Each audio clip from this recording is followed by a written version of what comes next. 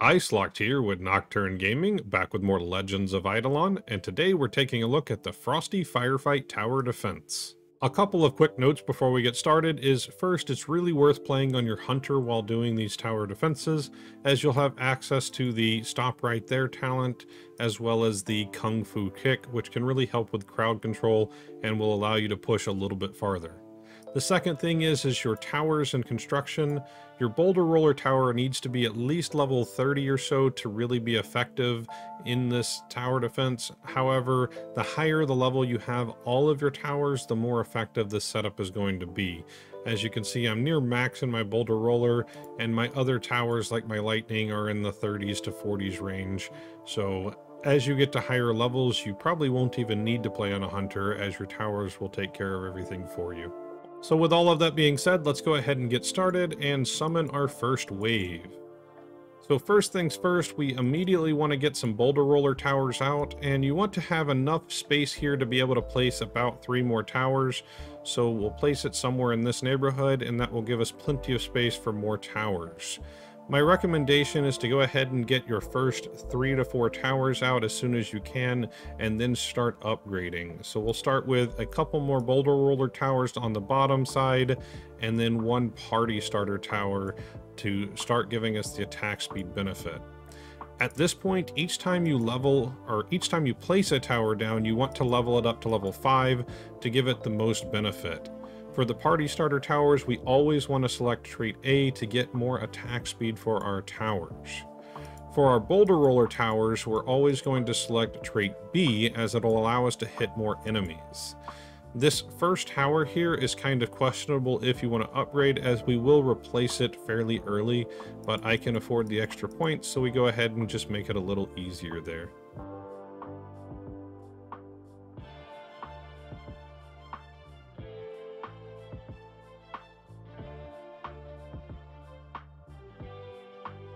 So at this point, you may need to use your Hunter's Immobilize, as this can give you just a few more seconds to uh, stop the enemies there. I used it a little too early, so I didn't root them, but my towers were able to take care of it. But if your towers aren't doing enough damage, you may need to work on some crowd control during the early waves.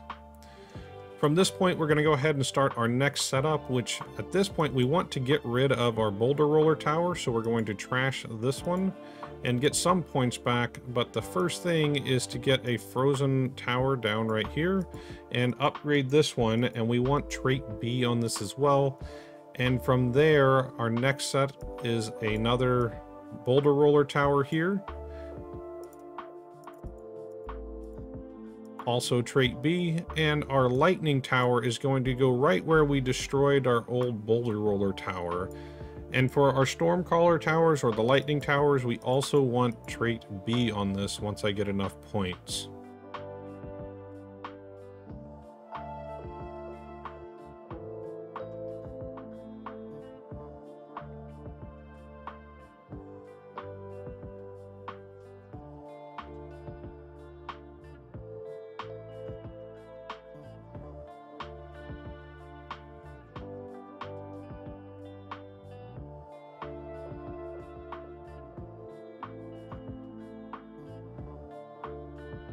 All right, so let's get a few more towers down now, and we're going to place a second party caller here.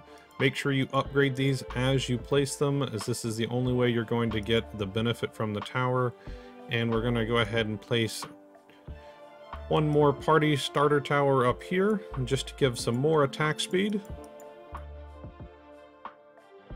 Keep in mind that when you're doing your party starter towers or you're in this phase where everything is pretty easily taken care of, you can skip the waves. However, be careful using this as it doesn't count you clearing the wave until all monsters from that wave are dead.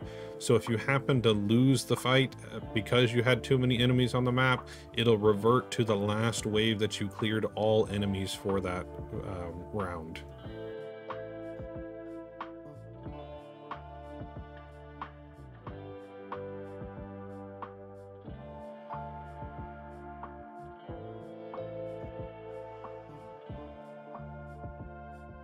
So we can go ahead and get a few more towers out now, and we're going to place a second lightning caller tower down right next to the first. Again, upgrading this for the trait B. This gives us a good crit chance, which leaves us with more damage for our boulder roller towers on the bottom. Plus, they do a decent amount of damage on their own.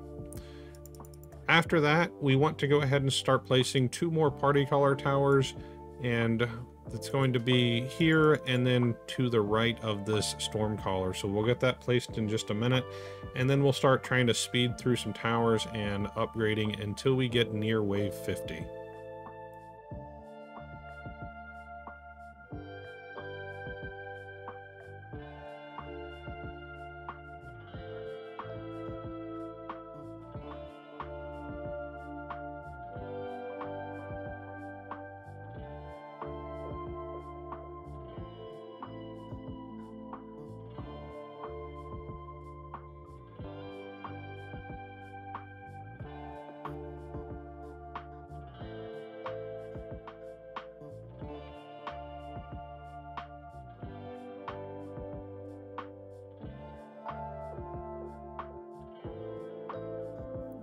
A quick note at this point is you can start upgrading your boulder rollers or your party towers to level 10.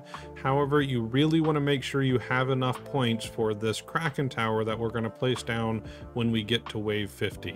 It's really important that you save enough points for that, otherwise wave 50 is going to be a huge block for you.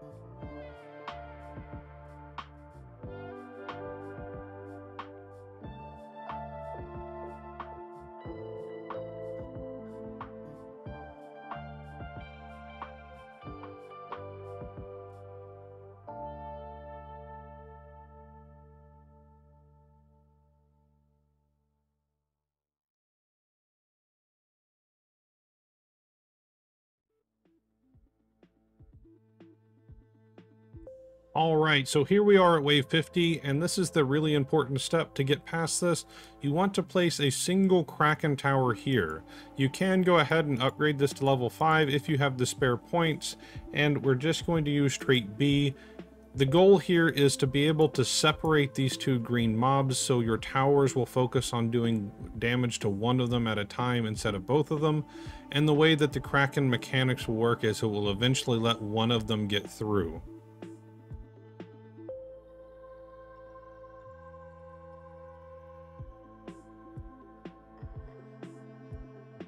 Once that second one gets through there, the first one will get trapped by this Kraken Tower, and the tower will spawn enough of the eyes to keep it locked in place. And this will allow the Boulder Roller Towers to do all of its damage to just one of the mobs, and really allow you to burst through the damage here. If you want a safety net, you can save up enough points to put a second Kraken Tower down here at the bottom. We will need this a little bit later, but if you don't need it, it's better to save the points because after this wave, we're going to end up selling this Kraken Tower up top, and that'll make your Kraken Towers a little cheaper. So now that this first green mob is dead, we can go ahead and sell this second, this Kraken Tower and let this wave get by a little bit quicker. So we will go ahead and trash that tower, get most of our points back, and once these eyes go away, our boulder roller towers will clean it up for us. But this is a good time to go ahead and start laying out our final defenses, which we're going to put a couple Kraken towers at the bottom just to make sure nothing gets through for as long as possible.